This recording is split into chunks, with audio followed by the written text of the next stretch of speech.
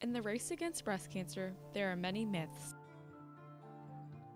Males do not get breast cancer is just another myth. In reality, we can all get it.